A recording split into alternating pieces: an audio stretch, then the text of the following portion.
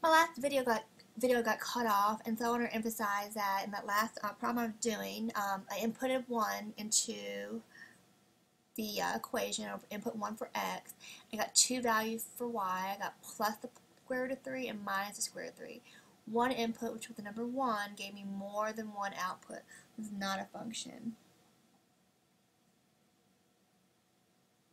That's because input had more than one output. No matter how many outputs you have, if it's more than one, then you don't have a function. So I'm going to go ahead and go into the on your own problem on the next page, on page 57. I want you to go ahead and pause the video and try these on your own and determine whether the equation defines y as a function of x, and then when you restart the video, you check your answers. Okay, so for part A, I solved for y, and I got y equals negative 2x plus 6. And it appears that every value I put in for x, or every input I put in, I only get one output. So I did a couple of those, and it looked like um, by doing that, um, I only got one output. I didn't do part B yet. I'm going to go ahead and do that. So if you write down it, you can check your answer. When I solve for y, I subtract x squared from both sides. So I get 1 minus x squared equals y squared. These are square properties of y equals plus or minus square root of 1 minus x squared. Without even inputting values in for x, whatever values I put in for x, I put a, a 10 in there, or 5 in here, or 6 in here.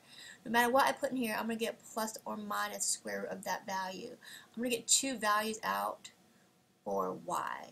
So this is not a function because when you input some values for x.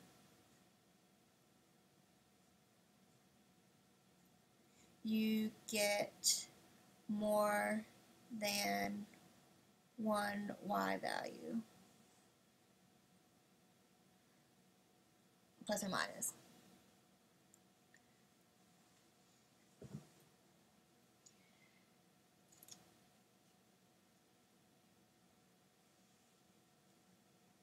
When we know y the function of x, we can use something called functional notation. And so in this problem over here, we knew that this function right here, or this equation with a function. So y equals negative 2x plus 6, we know a function. We use something called functional notation, and this right here, f of x equals negative 2x plus 6. This means f of how you say it, f of x. f of x. Basically, like the f of x, that just means your output or your y. So this is your output, and the x is your input. So the x is your input.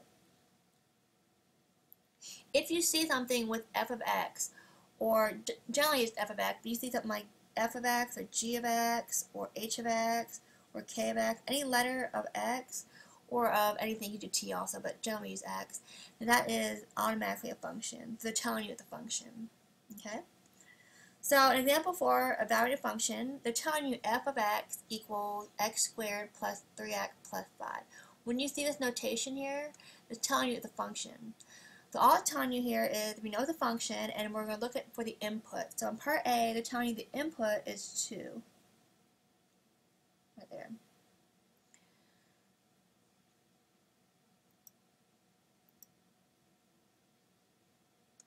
So what we're going to do is we're going to go ahead and I'm going to copy the function down, which is f of x, this is part A. f of x equals x squared plus 3x plus 5.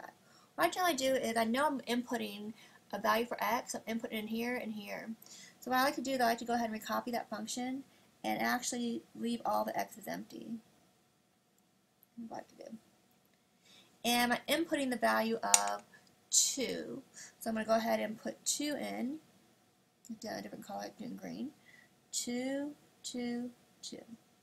So what's telling me is once I put in 2, I get 4 plus 2 plus 5, and I get 11. So f of 2 equals 11. That means my input was 2,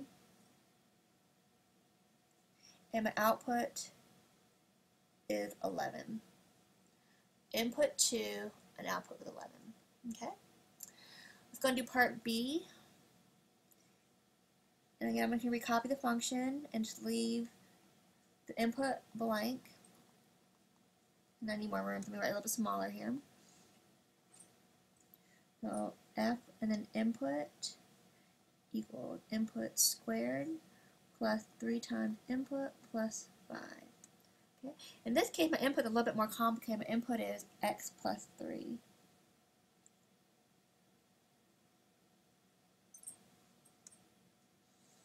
Okay. When I do that, I'm going to go ahead and make my screen a little bit bigger. So When I do that, I go ahead and multiply that. Remember, this is the same thing as x plus 3 times x plus 3. Okay. So I get is I get x squared plus 3x plus 3x plus 9.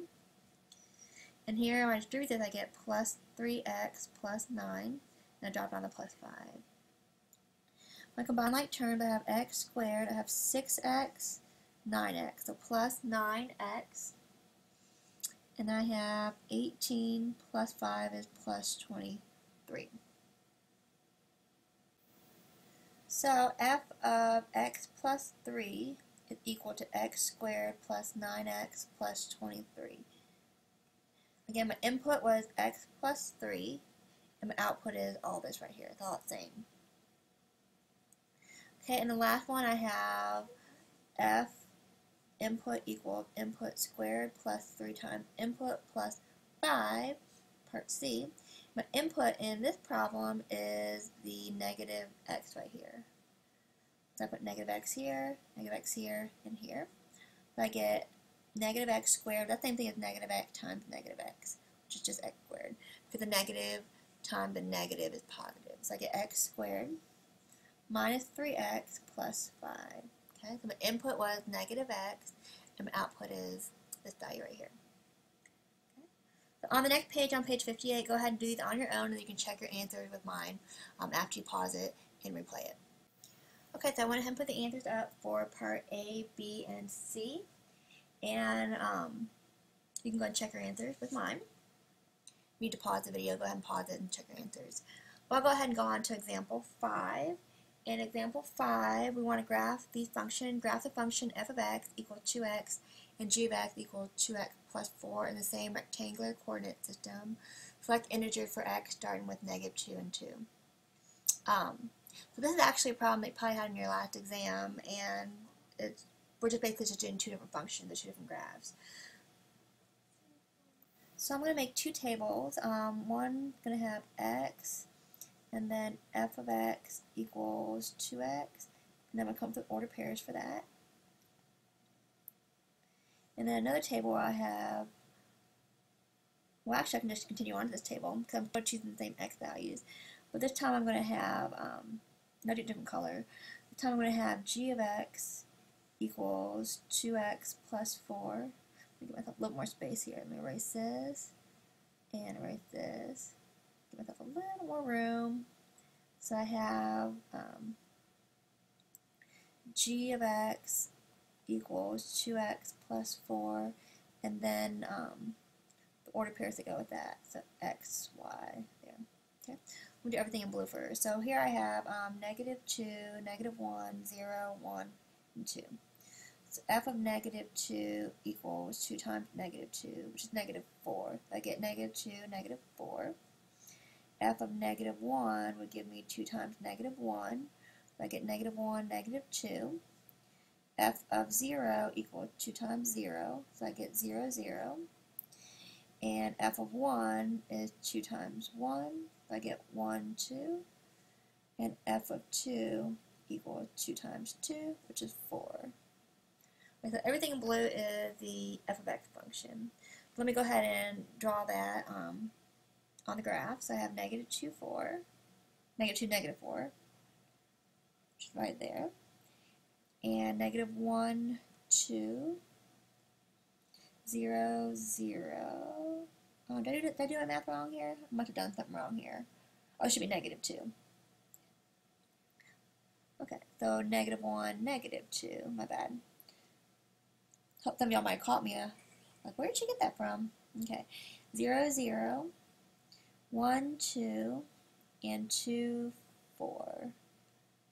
And normally I would have you label these points on the graph, but if you have them labeled in your table, that's good enough for me. Okay, so I'm going to go ahead and connect these points. And I put arrows at each end because um, this line goes on forever. And I, I only picked values um, negative 2 to 2, and I could have picked 3, 4, 5, and those points would be um, here, and so on. Okay, let's go ahead and do the g of x value. So I'm putting in negative 2 for x here. 2 times negative 2 plus 4. That would give me negative 4 plus 4, which is 0. So negative 2, 0.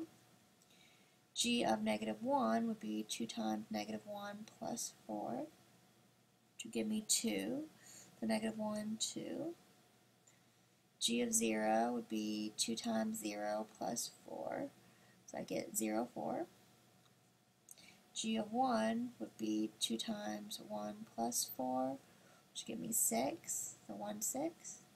And g of 2 is 2 times 2 plus 4, to give me 8, the 2, 8. So I'm going to go ahead and plot the um, points in red, or the g of x function in red. And so I have negative 2, 0, which is right here. Negative 1, 2, 0, 4, one, one, two, three, four, five, six, and two, eight right there.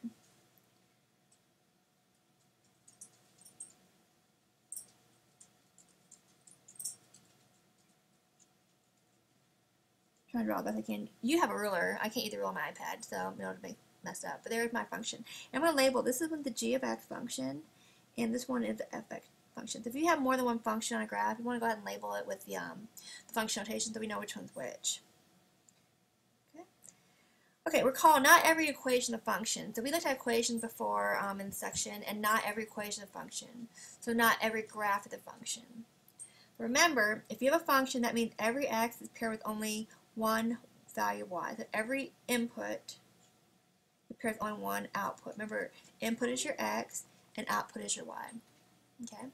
We look at this graph here, you're going to notice that if I look at this graph here, if I have an input of 0, do you notice that 0 has an output of 1? 0 here has an output of 0. Y, this is x.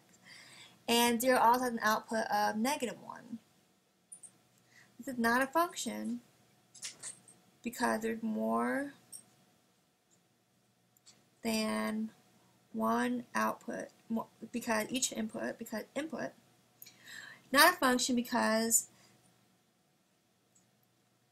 input has more than one output. Um, specifically input of 0 for x. So whenever you have a um, an, an, equation, you can look and see if it's a function or not by solving for y. But if you have a graph in front of you, you can actually look at it and say if it's a function or not. And what you want to do is you want to look at something called the vertical line test or vertical line test. The vertical line test for function, basically I'm, I'm running a vertical line. So if I take a vertical line, a vertical line goes up and down like this. And so I take that vertical line and let's say I draw it right here. So I'll draw it right there. Y'all see that touches one, two, three points on that line. That, that tells me that this x value of 0 has one, two, three points.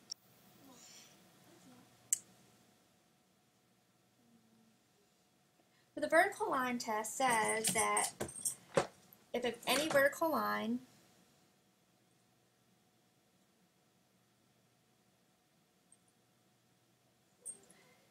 I draw a vertical line here, intersects a graph in more than one point